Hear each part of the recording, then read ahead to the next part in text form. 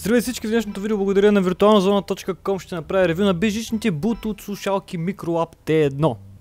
Сега след анбоксинга, където ще видите, че слушалките идва в една доста масивна, но стилна котия, а отзад виждате иллюстрации на модела с доста подробно описание на кое какво е, спецификация на слушалките и какво друго има в котията. Когато отворим ни посреща опътване на български язик, което никога не чета, но винаги оценявам. Добре, този път го прочетах и още на първия ред има правописна грешка, но шегата на страна, тук доста добре се описва всичко в слушалките. Освен него имате едно огромно опътване на английски язик с много повече картинки. И сега след толкова четене най-после можем да преминем към ето това яко черно кълъвче, в което може да носите слушалките си. Освен него имате един еднометров микро USB кабел за зареждане, както и един еднометров 3,5 аудио жак кабел, с който може да слушате музика, ако батерията ви свърши. И двата изглеждат доста качествени и са от тези плоски кабели, които трудно се завързват в джобове. Самите слушалки с гавайми, което аз лично не харесвам, защото в миналото всички подобни модели са се чупили за отрицателно време, но тук микроап са се сетили да ги подсилят с метал, което ги прави много по-здрави. Като цяло ми харесва как са направени, че държат на доста турмоз, но ме дразни, че както винаги са лъскави и са магнит за мазни пръстови отпечатъци. Ако имате по-голяма глава като мен, не се страхуйте, защото микролапте едно могат да се регулират лесно и за разлика от други мои слушалки не се отпускат сами докато стоят на главата ви дълго. Горната част и чашките са доста мекички и удобни дори след дълго носене. Чашките не са от най-големите, но аз лично имам малки уши, които без проблем се побират в тях и въпреки, че нося очила, слушалките не стискат толкова много, че да забият очилата ми в черепа, което е доста голям бонус. След няколко седмици ползване мога да кажа, че слушалките се зареждат за около 2 часа, като ползвате микро USB порта в дясно и издържат близо 10 часа ползване, което е доста добре. От дясната страна ще намерите бутоните, с които може да пуснете слушалките, намаляте аудиото и да смените песните, които слушате. Бутоните работиха без проблем на телефона и компютъра ми в апликации като Spotify, Media Player и дори Sony Vegas.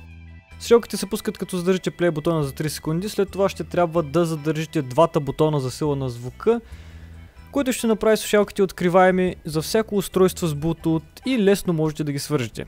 Сега вече може да слушате музика без проблем и да използвате бутоните за да смените песните си.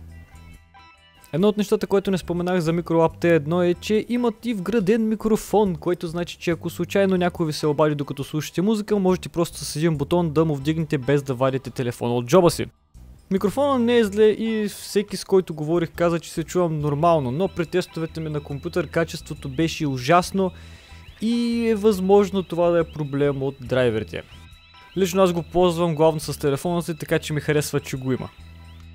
Един от големите бонуси на тези слушалки е, че ако случайно батерията ви свърши, можете просто да вкарате 3,5 мм аудиокабел и да продължите да слушате музика така без проблем. Слушалките дори могат да възпроизвеждат и аудио през USB, докато се зареждат от компютъра. Един проблем, който намерих е, че ако ги зареждате от контакта и сте ги свързали с Bluetooth в момента, в който изкарате кабела и слушалките се спират сами. Сега най-после стигнахме и до аудио качеството. Аз не съм от хората с най-добри познания по аудиотехника, но от последните 3 чиста слушалки, които ползвах, тези са най-добрите. Аудиото е много чисто, баса си е силен, а силата на звука е толкова висока, че аз не мога да нося слушалките дълго, ако съм ги пуснал на максимум. Слушалките работят без проблем, дори да се отдалечите до 10 метра от телефона си, но ако се скрите зад дебела бетонна стена, ще има малко смущение. Единственият проблем, който имах докато ги ползвах на компютъра си беше едно странно пукане в аудиото, което се оправяше когато спра пусна слушалките през Windows и се появяваше главно в YouTube. Тогава ползвах ето този античен Bluetooth адаптер, но след като си купих нов, който ползва Bluetooth 4, проблема изчезна, така че внимавайте като си купувате адаптери. Също така искам да кажа, че този проблем не се появи веднъж при нито един от четирите телефона, с които тествах слушалките. Като цяло мога да кажа, че слушалките са много готини, но не са геймърски хедсет. Направени са главно до слушане на музика и са много удобни заради бутоните си, а микрофона ми позволява да говоря по тях без да трябва да варя огромния телефон от джоба си. Много са удобни и дори след часове носене ушите ми не ме мразят.